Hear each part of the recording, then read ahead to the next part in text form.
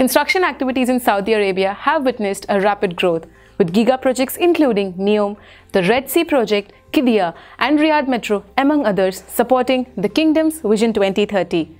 These projects are further supported by contract awards that are the driving force behind the oil-rich nation's plans to diversify from its reliance on oil-based revenues. According to US Saudi Arabian Business Council's Contract Awards Index for Q3 2019, the kingdom's oil and gas sector led all other sectors including real estate, industrial, urban development, transportation, water and power in terms of contract awards in Q3 2019.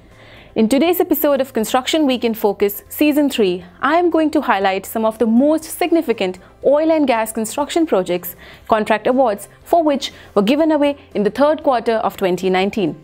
I am Ranju Warrier, reporter at Construction Week.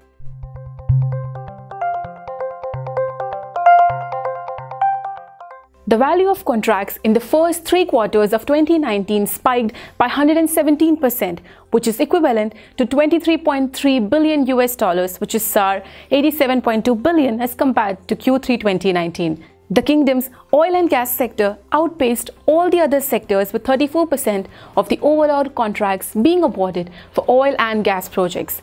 According to USS ABC, the year-to-date value of awarded contracts in the oil and gas sector reached 20.4 billion US dollars, which is 76.6 billion Saudi riyals, which jumped by 485% compared to 2018.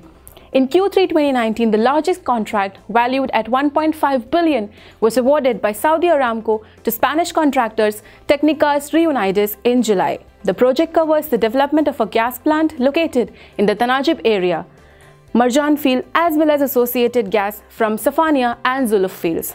As part of the contract, the firm will work on Package 9 that covers construction of a number of facilities including a gas compression and tankage substation, a natural gasoline storage unit, an off-spec products storage unit, propane and butane storage unit and installation of numerous inlet and rated facilities.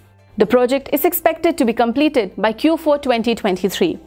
Aramco also awarded a 650 million US dollars contract to Egypt's Engineering for the Petroleum and Process Industries, which is Enppi, for debottlenecking the Safaniya field in the eastern province. Scope of work for Enppi includes construction of a new low-pressure degassing tank, substation and other facilities, with work expected to complete by Q4 2020.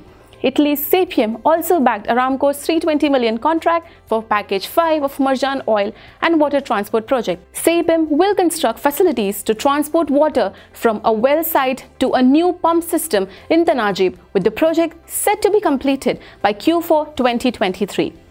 With construction projects worth trillions of dollars in the pipeline, Saudi Arabia's oil and gas project shine in Q3 2019 as other non-oil sectors continue to grow and boost the country's economy. That's all from us at Construction Week in Focus Season 3, as we call it a wraps this year.